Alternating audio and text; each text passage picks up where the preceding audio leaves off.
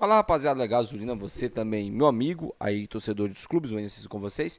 Você pode achar estranho, né? Não ter nada aqui no nosso estúdio. Como eu disse para vocês, eu estou de mudança.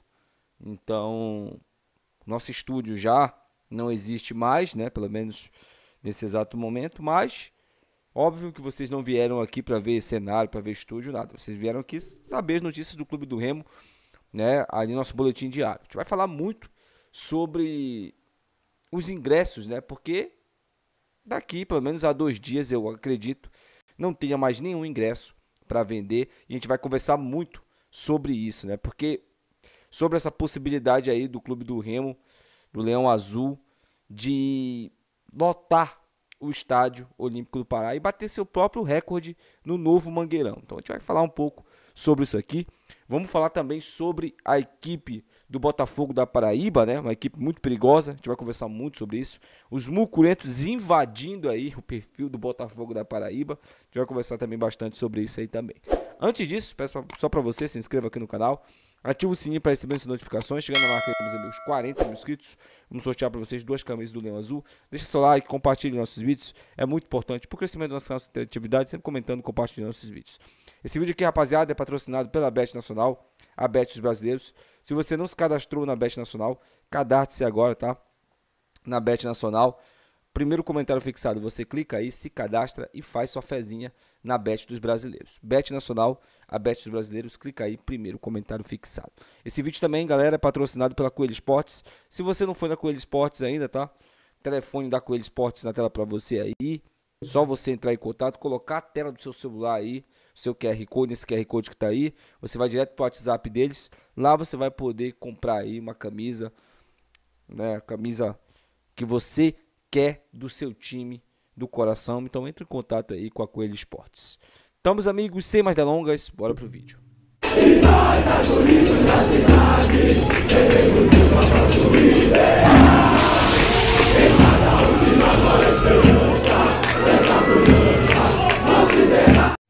Pessoal, é, até o presente momento, ali por volta das 6 horas, o Remo já tinha vendido 38 mil ingressos.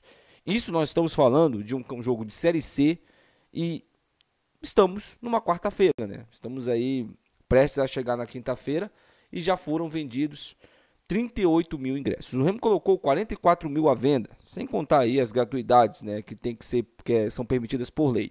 Então, a tendência aí é que nós, nós tenhamos, que nós tenhamos, no caso, o maior público do Remo nesse novo estádio Mangueirão, né? Lembrando o Remo colocou 42 mil contra o Corinthians ano passado. Esse foi o maior público do Remo na temporada, né? Naquela temporada. Na Série C, o Remo tem um público de 35 mil, que foi no ano passado contra o Figueirense, naquele empate de 1 a 1 E nós já estamos com 38 mil. Então, os 35 mil que a gente tinha com o maior público na Série C já foi batido 38 mil. Lembrando, esse público será o maior público da Série C até o presente momento e acho que dificilmente algum clube vai bater né, essa marca, até porque disparado o Remo tem a maior torcida desse quadrangular final. É óbvio, né? Isso aí é um tempero a mais para o jogo. O Remo tem que entrar focado, tem que entrar motivado para buscar aí, né? É, essa primeira vitória aí, estrear com o pé direito. Nós vamos enfrentar um adversário que é muito perigoso. Tem vários jogadores que a gente conhece bem, né? Que passaram pelo Remo. Boa parte deles não tiveram, né? Uma boa passagem. É, temos que lembrar aí do Renier, do Wendel Lomar. O Wendel Lomar causou até uma boa impressão ali no início, mas depois, na segunda temporada que ele teve ali com a camisa do Remo, ele não conseguiu convencer. O Renier, né? O único lance que eu lembro do Renier é um que ele cai de barriga no chão e olha o cara quase fazer um gol, um cara que tinha basicamente o corpo do Fábio Bentes, quase faz o gol lá e ele caído de barriga no chão, né? Mas as coisas mudaram. O Wendel Lomar e Renier se tornaram uma dupla de zaga sólida, né? E hoje juntos aí formam a dupla de zaga do, time, do melhor time né, da Série C, nessa primeira fase da Série C, que é o Botafogo da Paraíba. Botafogo da Paraíba que tem outras caras conhecidas também, como Vinícius Leite, por exemplo, que estava recentemente na Mucura, o Silas, que passou pelo Remo também, né, foi desligado pelo Remo e tá lá no Botafogo da Paraíba. O Evandro, ótimo lateral, para mim desses jogadores aí é o mais perigoso, porque é um lateral que apoia muito bem, né? Então o Remo tem que ficar ligado ali, então é um time complicado. E no primeiro jogo aí, né, no jogo da primeira fase, onde foi lá no estádio Almeidão, Lá na Paraíba, o Remo perdeu por 1 a 0 gol do Pipico naquela entregada ali do Ícaro, que ainda bem que não está mais no nosso elenco, né? não está mais no nosso time. Então, é todo um, um tempero especial para um jogo onde duas equipes entrarão em busca do seu objetivo final, que é justamente o acesso para a Série B do Campeonato Brasileiro. Que o clube do Remo consiga isso, né? Que o clube do Remo consiga essas condições aí. O Remo, falando agora em jogadores do Remo, né? O novo contratado aí, né? O Johnny Robert já vem treinando com o elenco e ele pode pintar aí na relação dos jogadores que vão jogar contra a equipe do Botafogo no próximo sábado. É, é interessante eu falar aqui para vocês porque o Remo não vai repetir por motivo de força maior o time que conseguiu um empate contra o São José.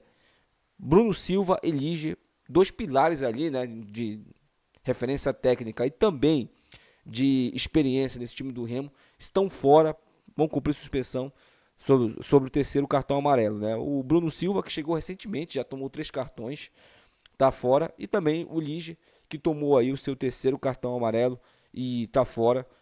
Nós temos aí alguns substitutos, né? Ele, o João Afonso, o craque João Afonso, né? A lenda João Afonso e Paulinho Curuá são os mais cotados para herdarem aí essas vagas desses dois jogadores.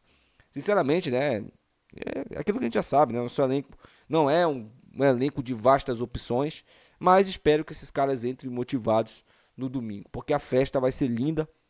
O mosaico já está sendo preparado, são do, um mosaico duplo que a gente fala, né? Ali no, no, estádio todo. Então o Remo vai fazer, a torcida do Remo, né? O Fenômeno Azul vai fazer uma festa e apoio não vai faltar, né? Apoio não vai faltar, pelo menos isso aí não vai faltar para esses jogadores. Referente, rapaziada, a questão aí dos mucurentos irem nas redes sociais do Botafogo motivar. Engraçado, né, cara? Eu até recebi alguns prints aí da galera mucurética indo lá. Ah, não, porque engraçado que eles mentem, né? Pra tentar motivar o time do Botafogo, até inflamar o time do Botafogo. Tá todo mundo falando no Pará que o jogo já tá ganho, que vocês vão lá para perder, não sei o que, só vão lá para cumprir tabela, não sei o que. Quem que você viu de torcedor do Clube do Remo falando isso? Quem que você viu? Eu não vi. Então, torcedor do Botafogo, não acredite nisso aí. A gente respeita o Botafogo, a gente não tem medo. Não vou dizer que eu tô com medo do Botafogo, que eu estaria mentindo. Eu não tenho medo do Botafogo, nem do São Bernardo e nem do Volta Redonda. Mas a gente respeita principalmente pelo primeiro, primeiro semestre que a gente fala, né? Ou a primeira fase do campeonato que o Botafogo fez. O Botafogo fez 41 pontos. Então é um time para ser respeitado. Mas o Remo tem que jogar a bola se quiser ganhar esse time do Botafogo. Não vai ser fácil, já falei isso aqui. Nunca é fácil para remista, né? Pra gente nunca é fácil. Agora é feio, é feio para quem dizia que não falava com Série C, ficar indo nas redes sociais dos caras falando aí que a gente tá dando a partida como ganha. A gente tá cantando vitória antes do tempo, querendo inflamar os caras. Fica feio, né, cara? Pra quem falou que não ia falar com Série C, que não sei o que, que a Série C, que aí não, vocês não se importam com Série C. E fica, dá aquela impressão que foi o que sobrou para vocês, né? Foi o que sobrou para vocês. Secar o remo. Vocês cansaram até de romantizar a derrota na Série C. Na Série B, no caso, né? Vocês cansaram até de romantizar a derrota. Porque até umas duas rodadas atrás, não, prefiro perder na Série B. Prefiro apanhar na Série B. Agora não. Agora é um discurso de humildade. É um discurso ali de que, não, a nossa realidade é brigar contra, contra o rebaixamento. Sempre foi a realidade de vocês. Sempre foi essa daí. Não teve, em nenhum momento a Mucura brigou por alguma coisa a mais que não fosse a permanência. Em nenhum momento nesse campeonato. Em nenhum momento. E se eu fosse vocês, estaria preocupado com a Farândola, que é o time de vocês. Não com o Remo. O Remo chegou no lugar, isso aí, eu não sou imbecil de não é, é, confirmar isso, de não concordar com isso, que o Remo chegou num lugar que, que nós, torcedores, não esperávamos que o Remo fosse chegar no quadrangular final muito também ajudado por resultados paralelos ali, isso também é verdade, mas também não deixa de ser méritos do Remo. O Remo venceu os últimos cinco jogos jogando em casa. Os últimos cinco jogos que o Remo teve, o Remo venceu em casa. E eu não lembro, não lembro, nem com o Bonamigo do Remo ter conseguido isso. Sinceramente, não lembro com o Bonamigo o Remo ter conseguido cinco vitórias seguidas em casa. Eu não lembro. Tá? Se você puder me lembrar aí, deixa aí nos comentários também. Se naquela Série C de 2020/2021, quando o Remo conseguiu acesso, se o Remo conseguiu cinco vitórias em casa. Então o Remo é muito forte jogando em Belém. O Remo é muito forte jogando em Belém. É óbvio. Tem também a questão do problema de jogar fora de casa. E a gente vai em busca aí do nosso objetivo, do nosso sonho, que é o acesso. Enquanto isso, você, meu amigo bicolor, para de ficar mentindo nas redes sociais, de ficar querendo inflamar os caras com mentiras, porque isso é feio.